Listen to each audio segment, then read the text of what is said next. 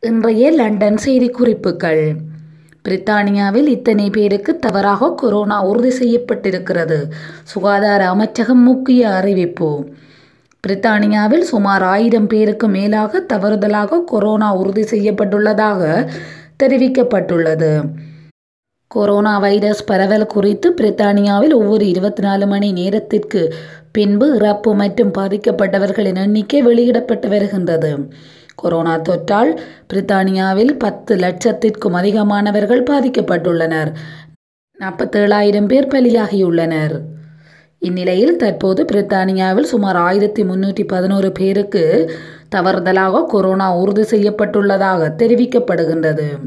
இது குறித்து பிரித்தானிய சுகாதாரத்துறை அமைச்சகம் கடந்த நவம்பர் பத்தொன்பது முதல் நவம்பர் இருபத்தி மூன்று வரையிலான கொரோனா பரிசோதனையில் ஆயிரத்தி முன்னூற்றி பதினோரு பேருக்கு கொரோனா உறுதி செய்யப்பட்டிருப்பதாக தவறுதலாக தெரிவிக்கப்பட்டுள்ளது. இது தொடர்பாக விரைவாக நடவடிக்கை எடுக்கப்படும். மேலும் அவர்களுக்கு மீண்டும் கொரோனா பரிசோதனை செய்யப்படும் என்றும் தெரிவிக்கப்பட்டுள்ளது. பிரித்தானியா வீடுகளில் ஏற்பட போகும் அதிரடி மாற்றம் புதிய ஆண்டில் பணிகள் ஆரம்பம். இங்கிலாந்தின் மிகப்பெரிய எரிசக்தி மறுசீரமைப்பு திட்டங்களில் ஒன்றின் பணிகள் தொடங்கப்பட உள்ளன. இத்திட்டம் பென்ரி ஸ்வான்சியில் நிறுவப்பட்ட கிட்டத்தட்ட அறுநூற்றி ஐம்பது வீடுகளுக்காக எரிசக்தி சேமிப்பு மற்றும் ஸ்மார்ட் எரிசக்தி மேலாண்மை தொழில்நுட்பத்துடன் கூடிய திட்டமாகும். சமூக வீட்டு வசதி வழங்குனரான பாப்ஸ் இந்த திட்டத்தின் பின்னால் உள்ளார் என்பது இங்கு குறிப்பிடத்தக்கதாகும். லண்டனில் இரவு நேரத்தில் நடந்த வெட்கக்கேடான சம்பவம் போலீசார் வெளியிட்ட சிசிடிவி காட்சி. எச்சரிக்கை தகவல். லண்டனில் இரவு நேரத்தில் திருடர்கள் சிலர் ஒன்று சேர்ந்து கிறிஸ்துமஸ் மரங்களை திருடிச் செல்லும் சிசிவி காட்சியை போலீசார் வெளியிட்டுள்ளனர். பிரித்தானியாவின் தலைநகரான லண்டனில் இருக்கும் கடை ஒன்றிலேயே இந்த திருட்டு சம்பவம் அரங்கேறியுள்ளது. கடந்த இருபத்தி ஏழாம் திகதி இரவு உள்ளூர் நேரப்படி ஏழு நாற்பது மணிக்கு இந்த சம்பவம் நடந்துள்ளது. இது குறித்து அந்த கடையின் முதலாளி ஜோஸ் லைல் கூறுகையில் சுமார் மூவாயிரம் பவுண்ட் மதிப்புள்ள கிறிஸ்துமஸ் மரங்கள் திருடப்பட்டுள்ளதாகவும் கொரோனா காரணமாக ஏற்கனவே விற்பனையில் பாதிப்பில் இருக்கும் நிலையில் இதுபோன்ற சம்பவம் நடந்தது எனக்கு வேதனையை கொடுத்துள்ளது என அவர் மேலும் தெரிவித்துள்ளார்.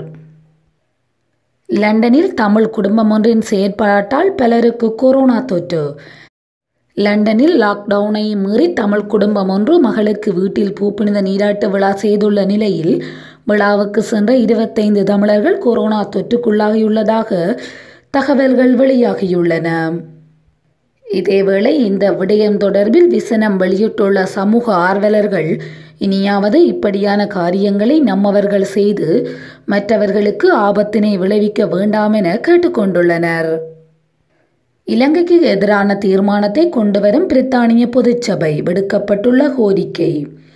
ரெண்டாயிரத்தி இருபத்தி ஓராம் ஆண்டு மார்ச் மாதம் நடைபெறவுள்ள ஐக்கிய நாடுகளின் மனித உரிமைகள் பேரவை அமர்வின் போது இலங்கைக்கு எதிராக ஒரு தீர்மானத்தை கொண்டுவர பிரித்தானிய பொதுச்சபை எடுத்த முடிவை இலங்கை அரசாங்கம் கவனத்தில் கொள்ள வேண்டும் என கூறப்பட்டுள்ளது. இலங்கை நாடாளுமன்றத்தின் எதிர்க்கட்சியின் பிரதம அமைப்பாளர் லக்ஷ்மன் கிரியல்ல இந்த கோரிக்கையை நேற்று நாடாளுமன்றத்தில் வைத்து வலியுறுத்தியுள்ளமை இங்கு குறிப்பிடத்தக்கதாகும்.